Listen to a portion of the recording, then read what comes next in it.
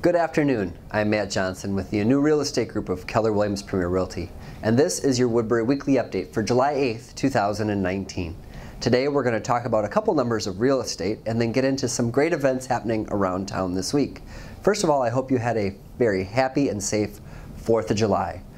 Over the last week, our listing inventory declined 6%. There's currently 346 homes for sale in Woodbury, while the pending inventory rose 5% to 213 homes under contract. We listed only 32 homes for sale and sold 40. That's a list to sale ratio of over 125%. That's huge going into the holiday weekend. Let me tell you about what's happening around town. On Tuesday, the 9th of July, our Woodbury Area Lions Club will be having our monthly membership meeting, 5.30 p.m. at Carmine's Restaurant. If you're interested in checking out the Lions Club or helping with all the great things we do around town, I'd love to have you be my guest. Just reach out. On Wednesday, the 10th, we have our Woodbury Area Chamber of Commerce Board of Directors meeting taking place at City Hall at 1130. I look forward to some great updates from the city coming from Carl and Mayor Anne Burt. Then on Thursday, we have a big day. On the, in the morning at uh, Woodbury Spine, we have Good Morning Woodbury. That's a chamber event taking place at 7.30 a.m. And then we have a ribbon cutting for Dr. Horton's new orthodontic studio on the corner of Pioneer and Radio. That ribbon cutting's at 11:30 a.m. Looking forward to that great new space she's created there.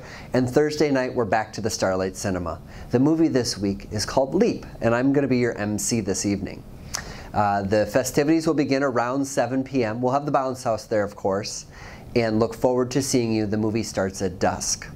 A couple of other points of interest around town this week. The Texas Roadhouse. While they haven't begun construction yet. I was told that they expect to open in November.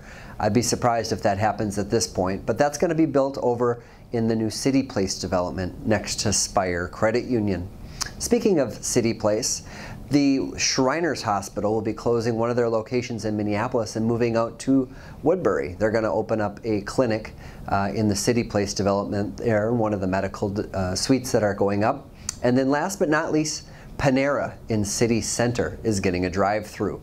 Looking forward to that. And a little side note, I heard Kowalski's is getting a pizza kitchen too. So if you have any questions about what's happening around town or what's happening with home values in your neighborhood, I'd love to be a resource. Again, I'm Matt Johnson from Keller Williams at 651 775 7515. Thanks, and we'll see you around town.